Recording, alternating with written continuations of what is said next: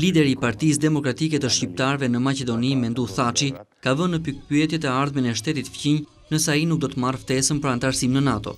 Duke dëgjuar publikisht një kryetar partie të një populli tjetër që është në pushtet dhe që thotë se unë jam i pafuqishëm nëse nuk merret ftesa, besoj se nuk duhen shumë analiza që tregohet se ardhmëria e Maqedonisë, ardhmëria e Maqedonisë është e diskutueshme nëse nuk merret ftesa për NATO. Mendon, ardhmëria e Maqedonisë është e diskutueshme nëse nuk merret ftesa? Absolutisht. Thaçi ka argumentuar se pengesa kryesore e integrimit të Maqedonisë në NATO është çështja e emrit, Por ai ka thënë se edhe ky ngërç me Greqinë që mund të vendosë veton, thuajse është zgjidhur pasi Maqedonia ka pranuar të ndryshojë emrin. Madje Thaçi ka dhënë dhe versionin e mundshëm të emrit.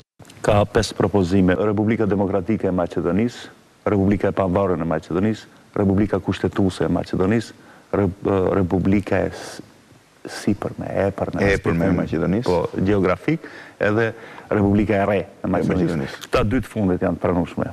Për grekët, ata dy të parët janë shumë të preferueshme për maqedonasit dhe ky është mesi. Megjithatë, Republika Kushtetuese e Maqedonisë. Në minutazhin në Opinion Plus, politikani me një karrierë pesëmbëdhjetë vjeçare në funksionet kryesore politike ka folur gjithashtu edhe për Kosovën, duke thënë se Maqedonia do ta njohë shumë shpejt pavarësinë.